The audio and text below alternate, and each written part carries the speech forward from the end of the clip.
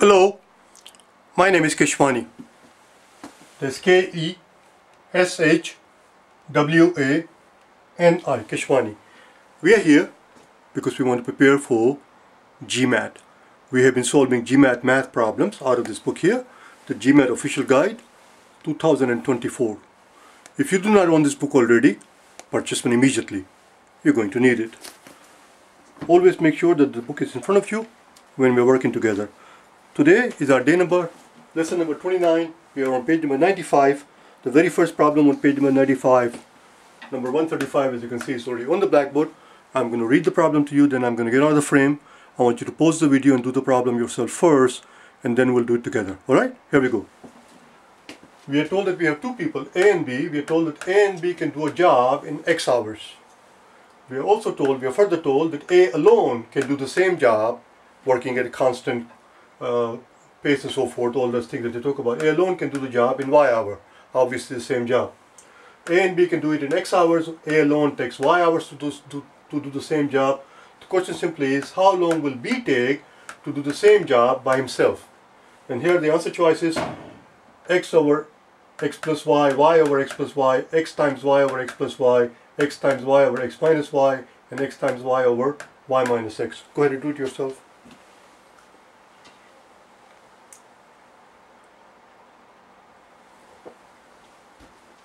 Let's see what we can do. Okay? We need the room.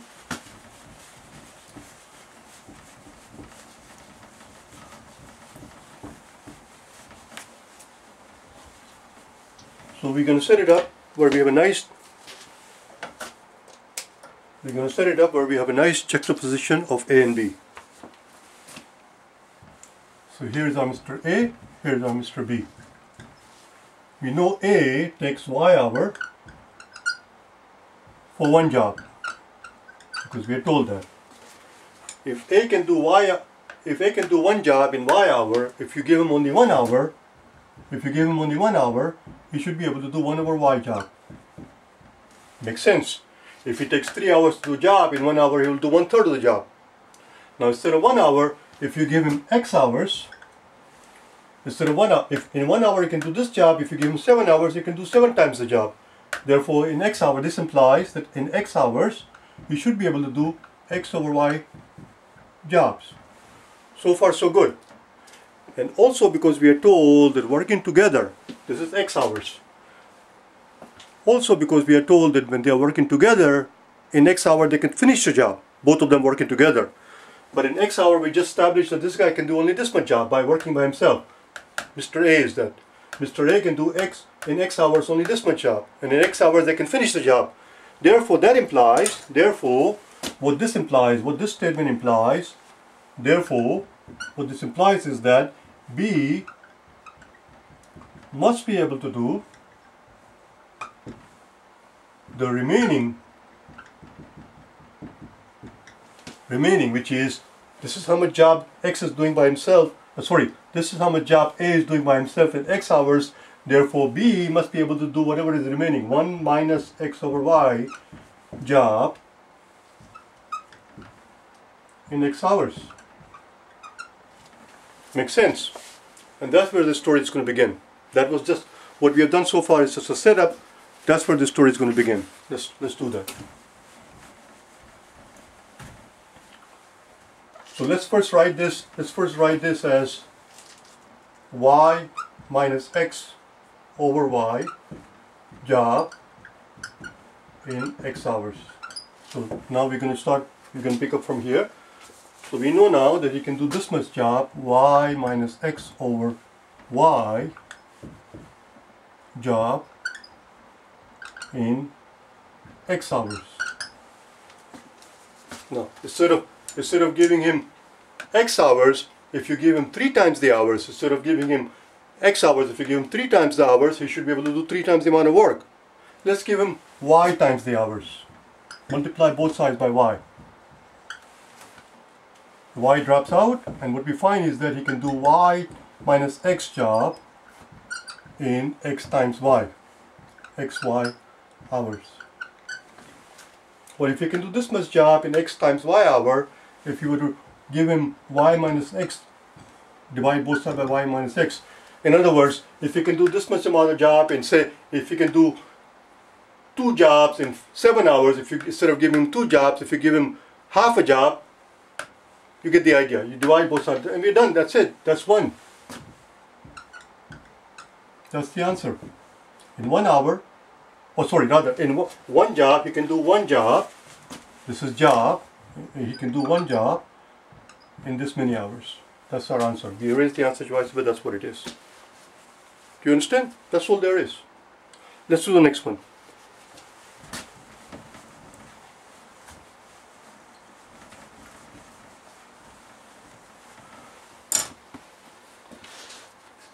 It's very difficult for me to resist to try to explain something very simple and when you try to explain something too simple, it gets too tedious and it becomes too boring and, and it's just too much. You get the idea. Number 136. In number 136 we are told that we have two baskets consisting of how do you spell consist? Con consisting of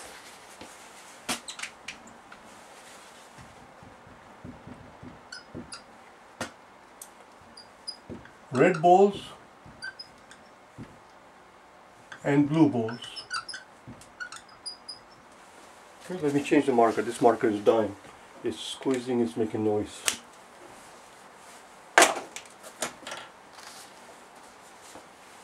So here are the two baskets.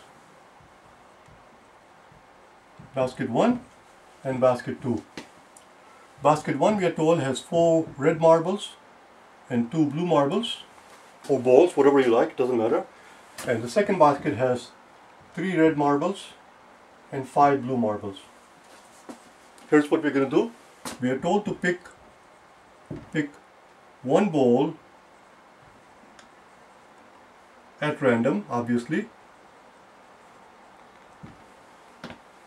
from each basket. So far so good. We're going to pick one ball from this basket, one ball from this basket. And here's the question. The question is, what are the odds of picking one red? And first I'm going to write it in the wrong way. First I'm going to write it in a way that is not given, just so you understand the difference. What are the odds of picking one? What are the odds of picking one red and then one blue. What are the odds of picking one red and then one blue? This one word, this one word, picking, what are the odds of picking one red and then one blue? This is an entirely different question. This is an entirely different question than what is being asked here. What is being asked is simply this. What are the odds of picking one red and one blue? They're not taking pick, what are the odds of picking one red and then one blue? The order doesn't matter. So in other words, we can take one red from here or here and one, one blue from here or here. What are the odds of doing that? Go ahead, do it yourself.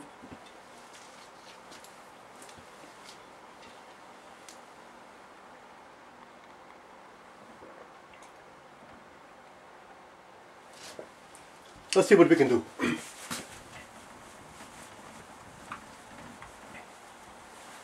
because it does not say what are the odds of picking one red and then one blue, it just says what are the odds of picking one red and one blue, order does not matter. We already established that. Which means we have two possible scenarios. We have two possible scenarios. One is that we pick red and then blue. In other words, pick one red from this basket and a blue from here. Or pick blue and then red. Take a pick a blue from here and red from there. Let's let's start then.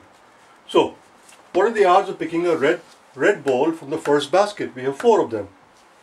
So it's four out of six. Four out of six. And now we go to this basket here.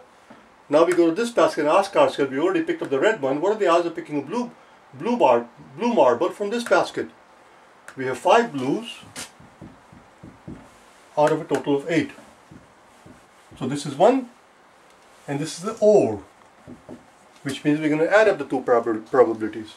Now we pick a blue one first and then a red one. We're going to pick a blue one from the first basket and a red one from the second basket. What are the odds of picking a blue one from this basket? We only have two blues out of six. Now we pick the red one from this basket. How many reds do we have? We have three of them out of total of eight. Very good, that's our answer. That's all it is. All we have to do is simplify it and we are done. That's the 20, the denominator is the same, 6 times 8 and 6 times 8. So that's the 20, that's the 12, that's, that's the, that's the, oh that's the 6. 2 times 3 is 6, 4 times, 4 times 5 is 20, that's a 6, that's a 26 out of 48. We have to reduce it obviously, 13 out of 24. The answer is 13 out of 24. Let's do the next one, shall we? Number 137.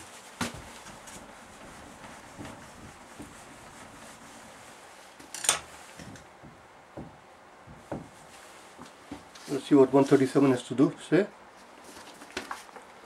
In 137, we are being we are being told something about this firm that sells shoes uh, in different regions of the country and with, uh, through different dealers. So here's the story. It's a very simple problem. It's a very childish problem.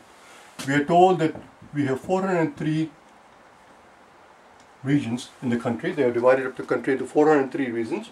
Uh, regions. We are told that we have average of 98 dealers per region. I don't like this thing. I like to have my numbers lined up properly.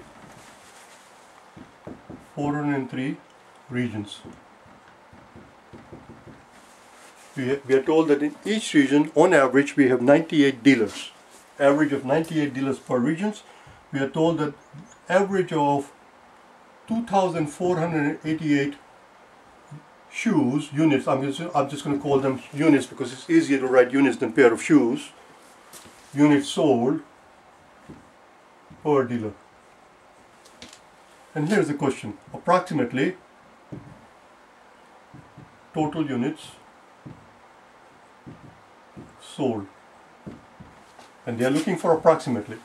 And to make it easier for you, here the answer choice is uh, 4, 5, 6, 7 and 8. 10 raised to 4, 10 raised to 5, 10 raised to 6, 10 raised to 7 and 10 raised to 8. Those are the answer choices. Go ahead, do it yourself.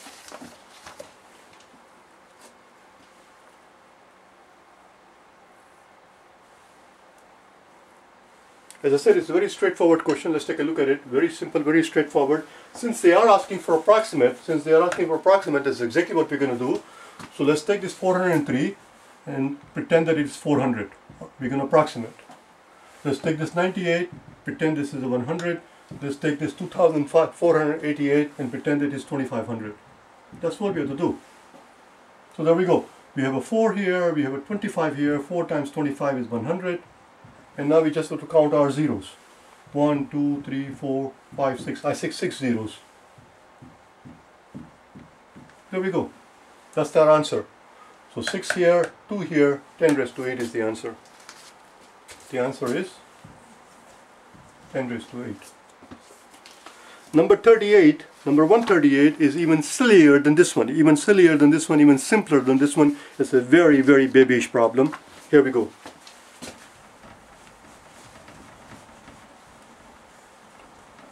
And when you find a babyish problem, very simple problem, especially this late in the story, and by that I mean we are at, already at 138, this late in the story, if you find a simple problem, you can't complain. Take the gift and run. 138. The question is simply this. What's the median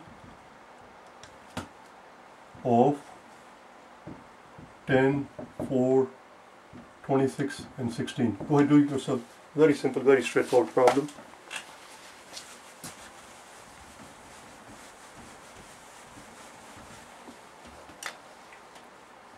In order to find the median, we have to first arrange them. That's the important part. Arrange them in order. So we have a 4, then a 10, then a 16, and then the 26.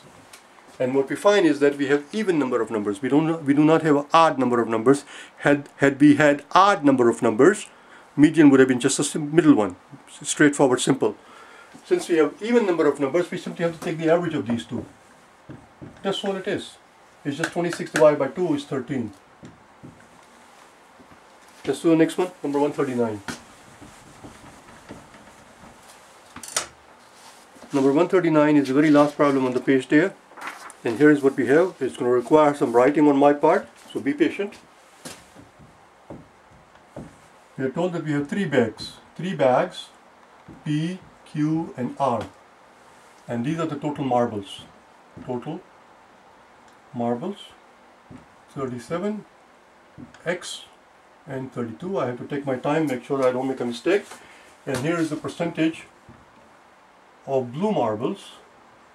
And we are told that these percentages are not exact. These are to, to the nearest tenth to the nearest tenth and here are the percentages. 10.8% 66.7% and 50% And here's the question. Oh, we are also told, one last thing I forgot almost, we also told that one third of the total marbles are blue. One third of the total marble are blue. And you can guess probably what the question is. Question simply is, what's the value of x? Go ahead, do it yourself.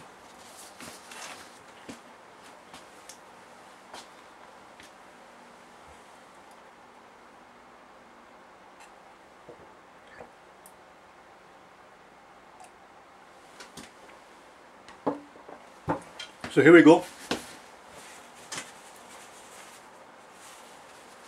One third of the total marbles are blue. I'm going to take care of that first so that we can erase this thing. We don't, so we have room.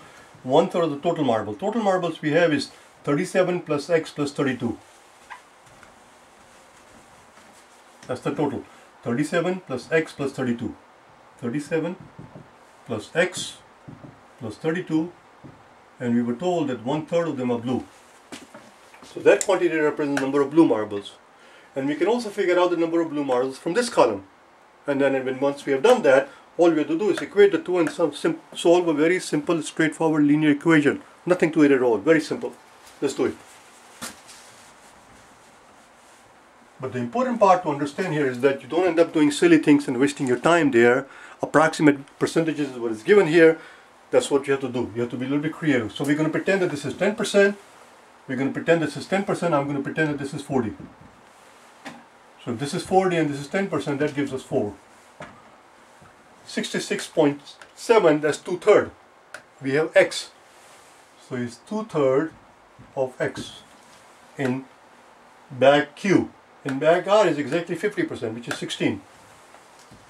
That's all. Equate the two things. 4 plus 2 third x plus 16. Do you understand? When you're doing your work, when you're doing your work, don't try to be fancy. Do not write two-thirds like this. There is no need to be fancy. It's, it's easier on the eyes. It's easier on the eyes to keep track of the fact that we have a third, we have a 3 at the bottom here. Let's multiply the whole equation by 3. We're going to do it on the top so we don't have to go so far down in the blackboard. Let's multiply the entire equation by 3. So we get 37 plus x plus 32 has to equal 4 times 3 is 12 this gives us 2x 2 times x and this gives us 16 times 3 that's 48 and as long as I have not made any stupid error we should be fine so here we get 2x plus 60 and here we get 69 plus x. There you go. We're almost there. We're done. I was about to say we're almost there. We're done, of course. Bring the x to this side. x equals 9. 69 minus 60. That's all there is. That was the end of the page. That's where we're going to stop here. We're going to meet again tomorrow. I'm going to pick up the problems from the next page, page number 96, when we meet tomorrow. Alright? Bye now.